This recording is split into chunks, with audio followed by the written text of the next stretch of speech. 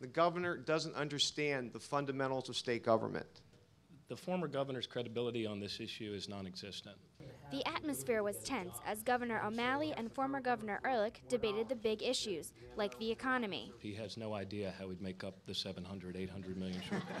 I guess your idea of getting the budget corrected is simply to ask the federal government for more dollars. Jobs. I think all of us can agree that we've lost a lot of jobs in our country, and, um, and we need to continue to work hard.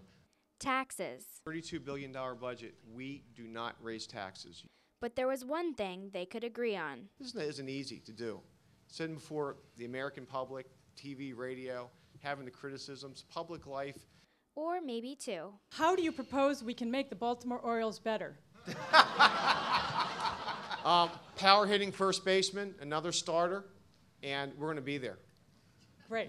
Governor O'Malley. Practice, practice, practice.